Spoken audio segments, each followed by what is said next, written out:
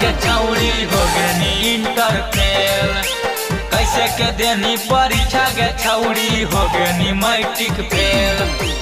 अभियो से पढ़े पर ध्यान दे दे।